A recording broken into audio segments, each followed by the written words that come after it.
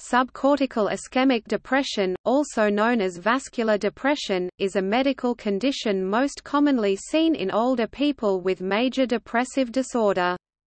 Subcortical ischemic depression refers to vascular depression specifically due to lesions and restricted blood flow, known as ischemia, in certain parts of the brain.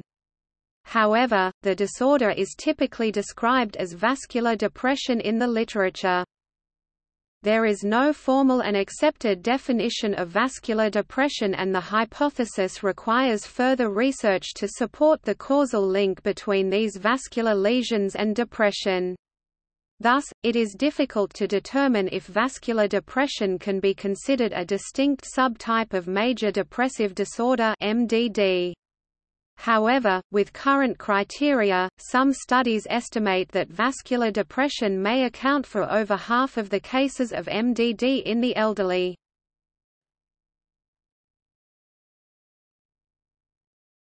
Topic: Diagnosis. Vascular depression is typically diagnosed using either magnetic resonance imaging (MRI) or clinically defined criteria. MRI-defined vascular depression is more commonly referred to as subcortical ischemic depression and emphasizes the relationship between MRI identification of lesions in the brain and depressive symptoms. An alternative definition is depression executive dysfunction syndrome and focuses on the link between clinical symptoms of cardiovascular risk and depressive symptoms. Both of these competing definitions are supported in the literature and provide a strategy to diagnose vascular depression. The criteria for MRI defined vascular depression focuses on the presence and severity of either deep white matter lesions, often referred to as white matter hyperintensities, or subcortical gray matter lesions. The most severe lesion in an individual is scored based on predefined criteria and considered in combination with two measures of depressive symptomology. These white matter lesions are thought to disrupt emotional and cognitive functioning. Alternatively, clinically defined criteria as proposed initially by Alexopoulos and colleagues 1997 includes dimensions of depressive symptoms, disability, and cognitive impairment. Specifically, DED syndrome has been characterized by a loss of interest in activities, psychomotor retardation, paranoia, and cognitive impairment in the domains of language fluency and visual naming. Aizenstein and colleagues 2016 proposed diagnostic criteria for vascular depression that incorporates elements of both clinical and MRI definitions.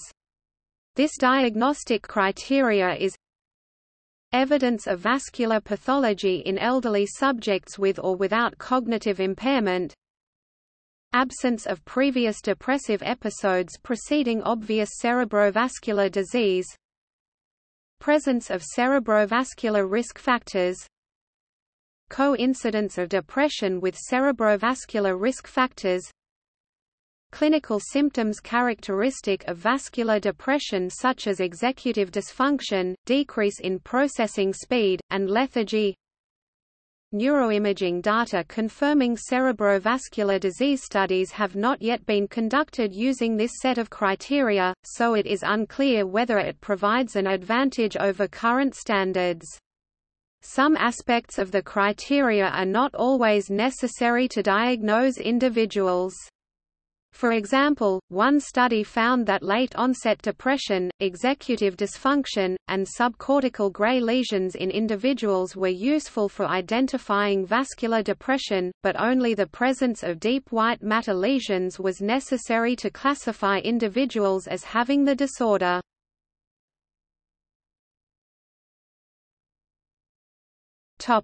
Distinction from major depressive disorder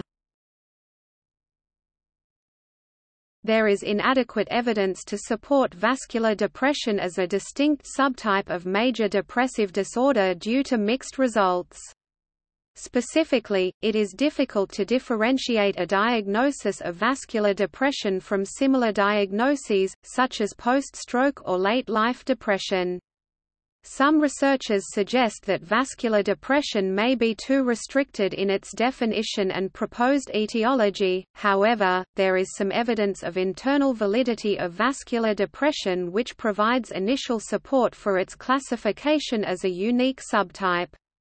The most distinctive symptoms of vascular depression compared to non-vascular depression include increased cognitive and executive impairment, proposed to be associated with cerebrovascular risk factors.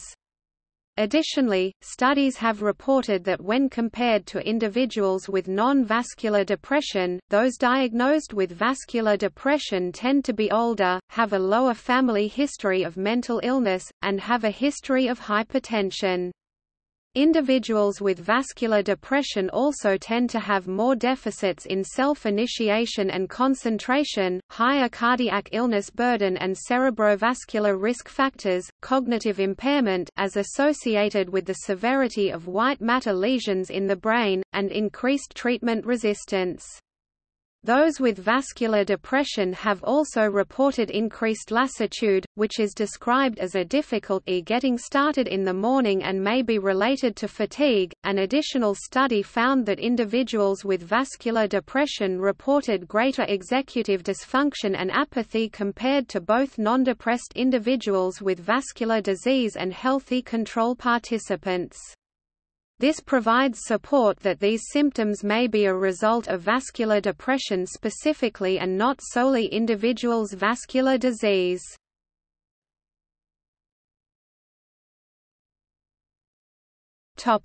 Cause Researchers hypothesize that vascular depression disrupts processes in certain parts of the brain to put individuals at risk for developing depression.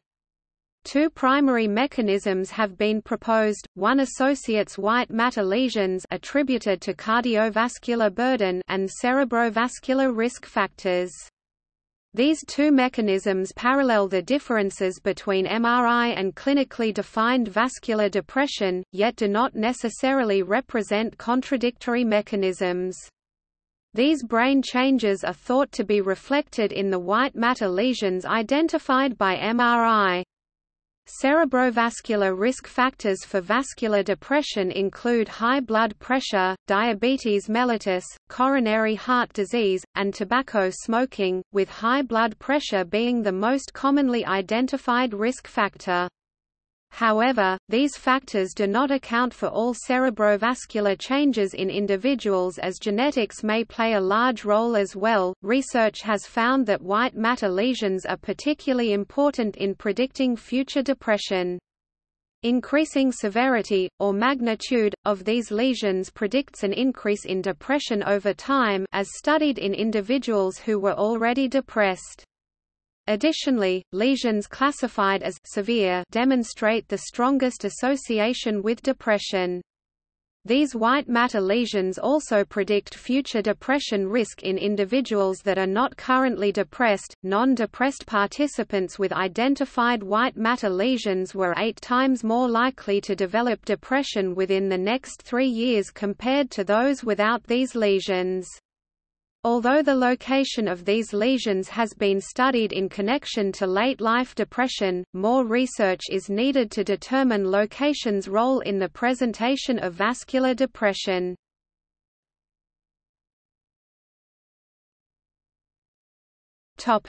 Management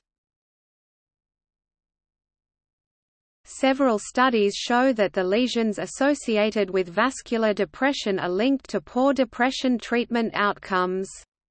A limitation of these studies is that they lack a measurement of cerebrovascular risk factors before and after the experimental interventions.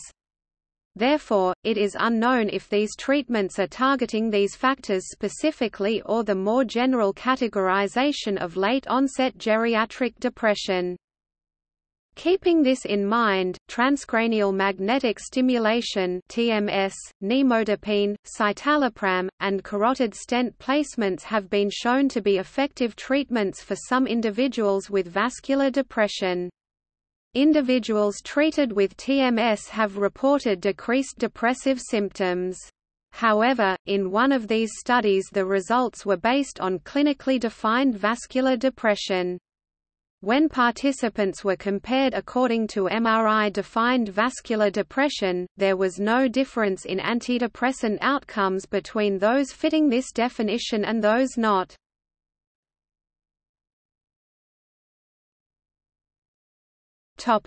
Controversy There are several criticisms regarding the theory of vascular depression. One critique is with regard to the distinction between sufficient and necessary causes for vascular depression. A cause is considered sufficient if its presence is enough to lead to vascular depression, yet it is considered necessary if it is required to develop vascular depression. Some research claims that vascular brain disease is sufficient but not necessary for the development of depression, but others have found that ischemic disease may not even be a sufficient causal factor. A second critique of vascular depression relates to the ambiguity about the causal direction between risk factors and depressive symptoms. It is very difficult to determine if cerebrovascular risk factors cause depressive symptoms or if depressive symptoms instead lead to a worsening of these risk factors, and it may likely be both. White matter lesions, proposed to be a causal risk factor, are common in the elderly and are associated with age. Depression and cerebrovascular risk factors are also common in later life. These factors make it difficult to determine what is the causal factor and to tease apart normal functioning from abnormal in the elderly population. A final challenge facing the vascular depression hypothesis is its lack of a formal definition. This makes the disorder fundamentally more difficult to study, especially considering that there is still no agreement on diagnostic criteria. Furthermore, some researchers have found that there is no depression symptom profile specific to those with vascular risk factors, calling into question vascular depression's distinction from other depressive disorders.